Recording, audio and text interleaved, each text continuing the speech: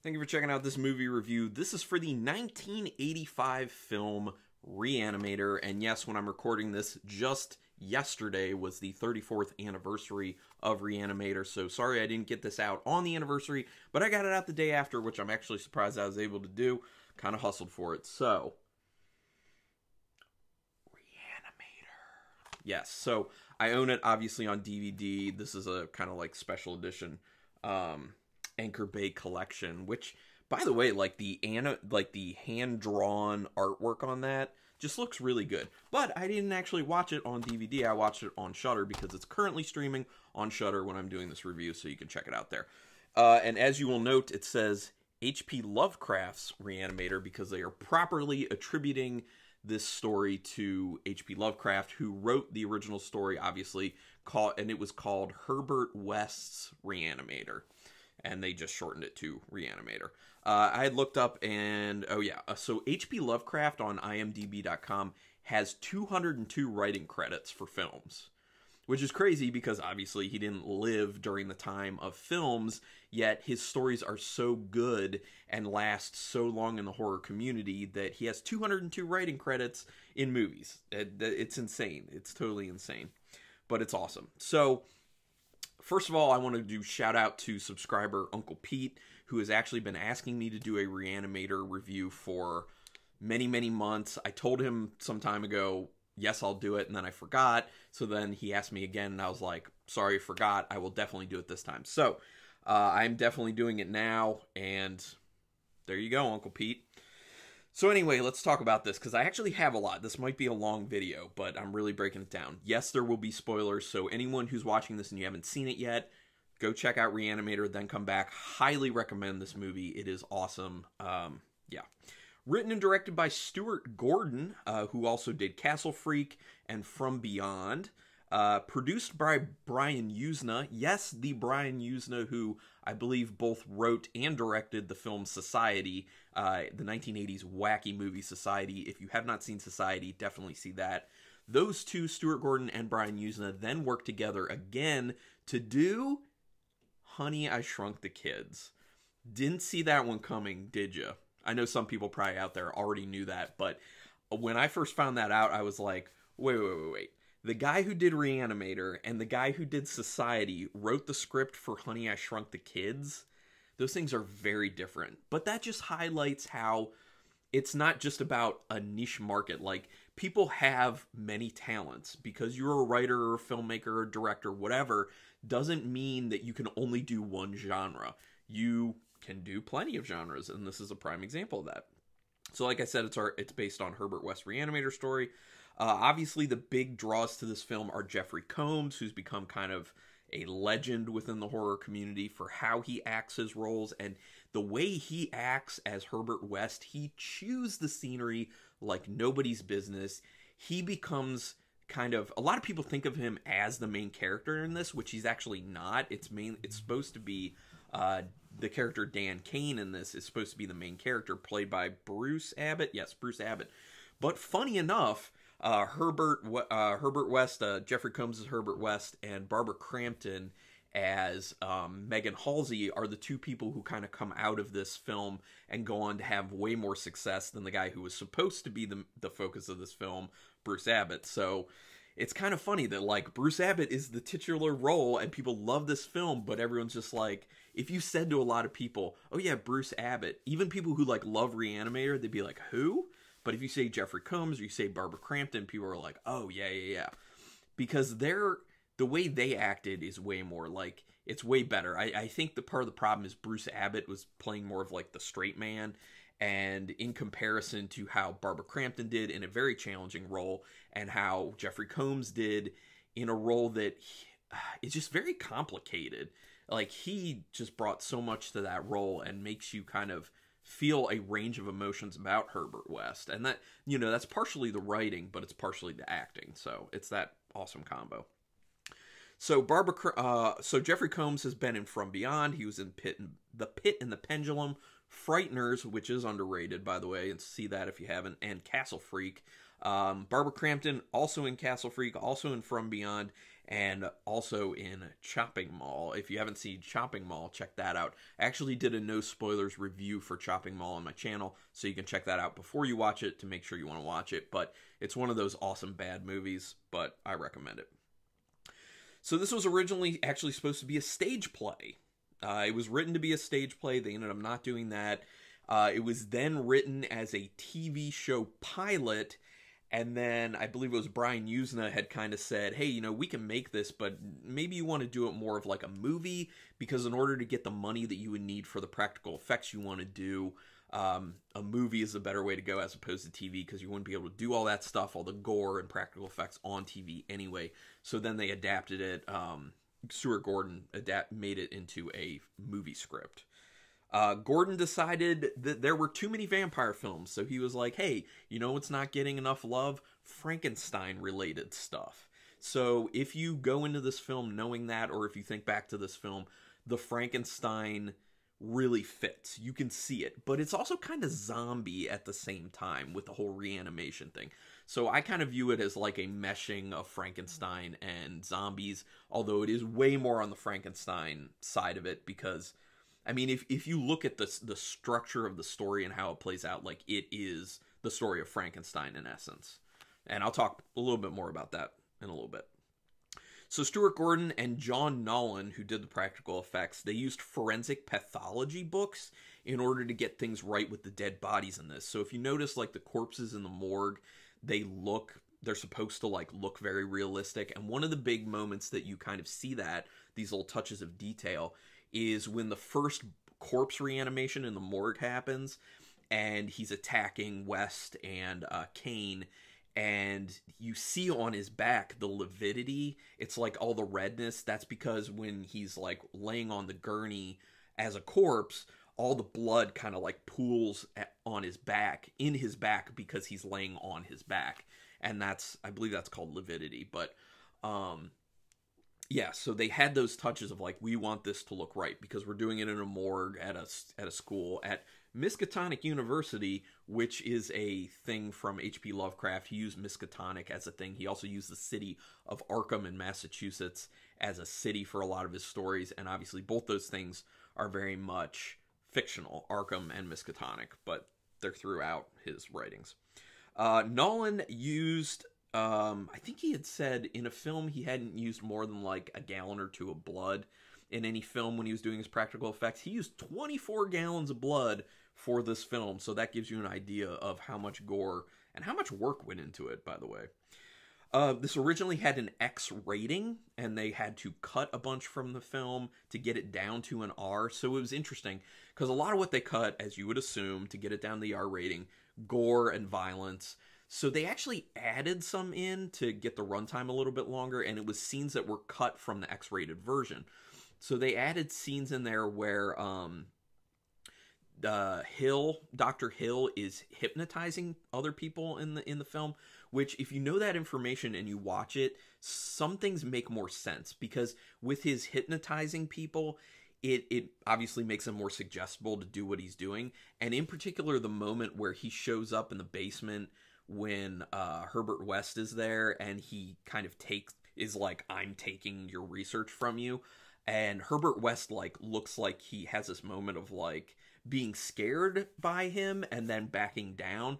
But what it actually was originally is that it was that hip hypnotizing that was taking effect on him or at least to a little part. He may have also been scared because you know he's an imposing dude. That guy David Gale who played Dr. Hill looked great in that role. He played evil amazingly. Like between his looks and his acting, he was great for that role. Loved him as Dr. Hill.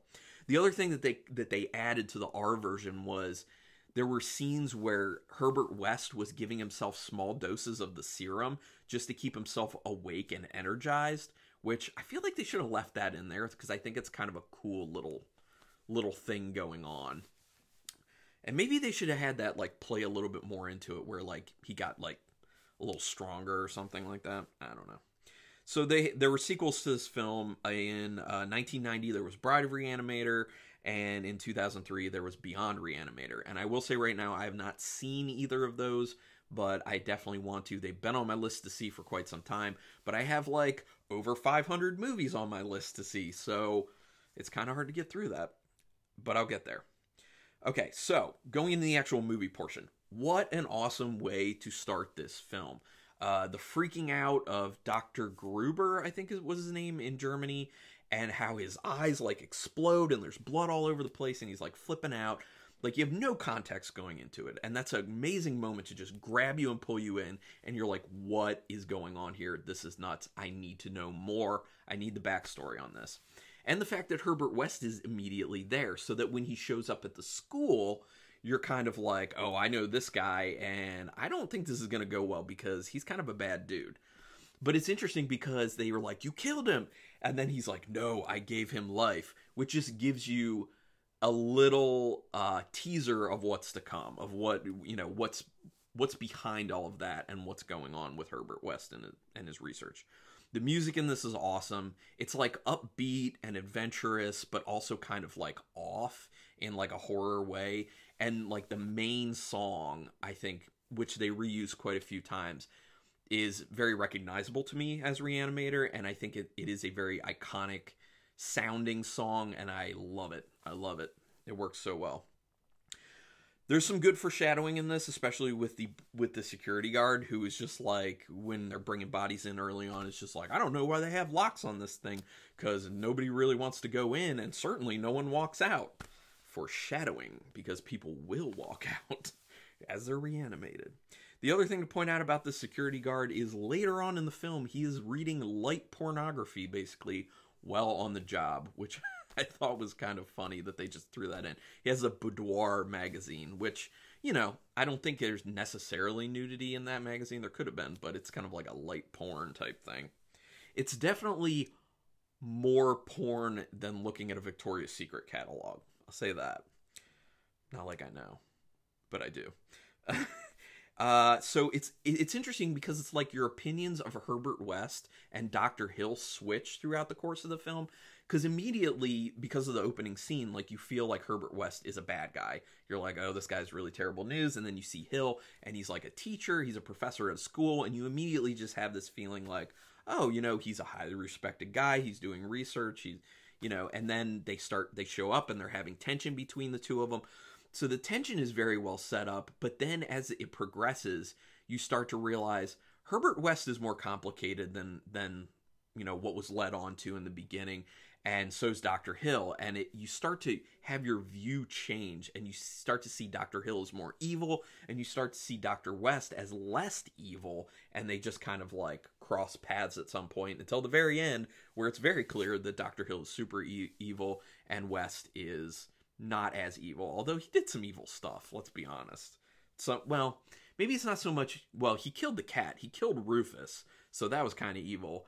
Um, I think he was just so his character's just supposed to be so blinded to morality and and humanity because of how focused he is on scientific advances, which kind of speaks to a theme that I want to talk about later, well at the very end of this review of how thing that parallels with actual society of you know just going into technological and scientific advances devoid of thinking, should we actually do this? Because that's what is happening with Herbert West throughout this film. He's he's not stopping and thinking, should I actually do this? He's like, I think I can do this. I'm doing this. So yeah. Um, I love, like I said, I love the tension between West and Hill, and it's pretty much immediate. And I think it's it's amped up because of the way those two actors are, how they do their roles, and how good they are at acting. It just brings a lot to that tension between them. It's a great rivalry. Um, West character is a, a West as a character is an amazing because he's not fully awful. You know, you think he's awful at first, and then your opinion of him changes, so you feel very conflicted.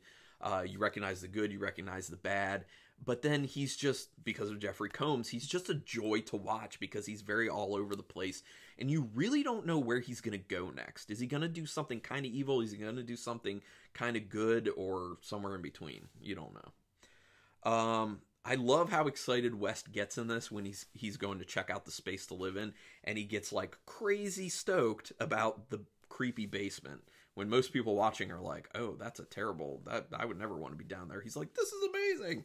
Probably because no one wanted to come down there. Um, you get a really good whiff of Dr. Hill's interest in Megan when they're having when he's having dinner with Halsey, and he kind of questions, "Oh, should she be with Cain?" You know, it, it's it's got like this hint of kind of jealousy, and obviously that comes into play much later when he's trying to head raper. I don't know, tongue raper. Oh, that sounds terrible, but that's what was going on.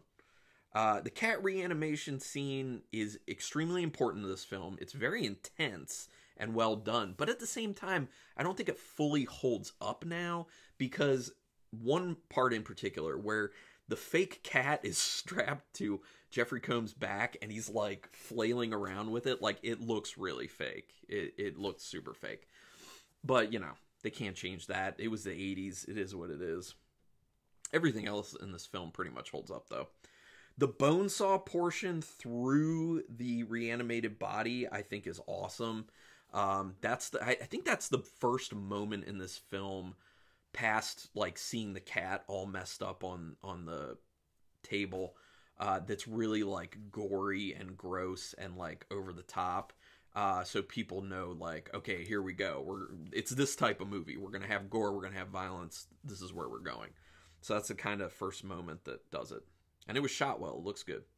Um, I like how you see the steps of these experiments where he's trying to figure out the freshness of bodies versus the trauma to bodies versus the dosage of the serum.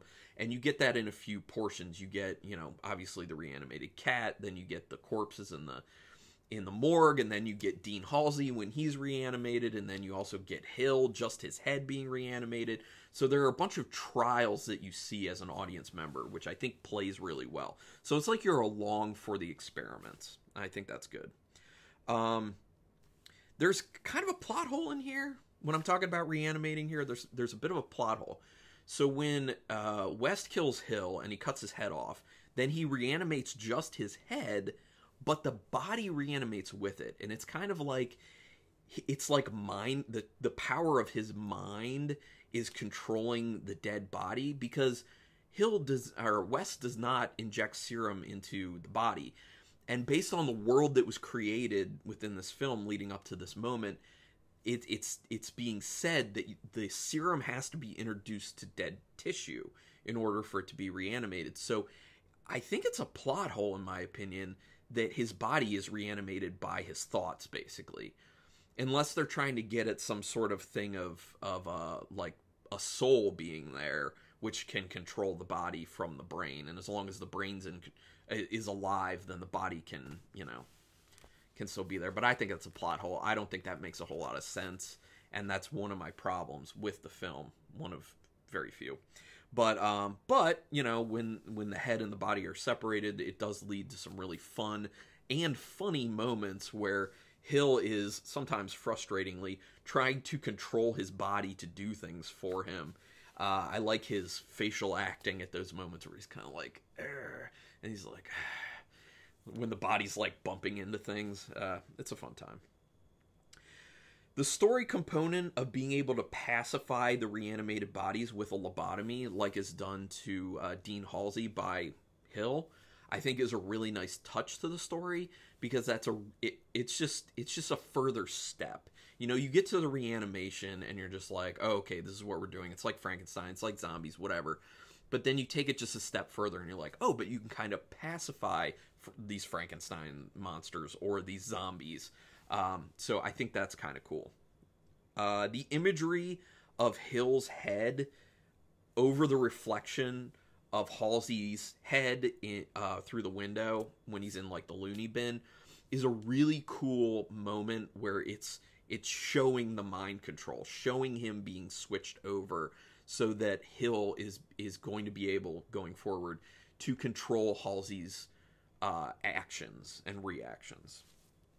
So that's cool. Uh, the molest. So okay, I wrote this about the infamous scene, which people who worked on the film supposedly call the head gives head. Um, molestation is scary enough.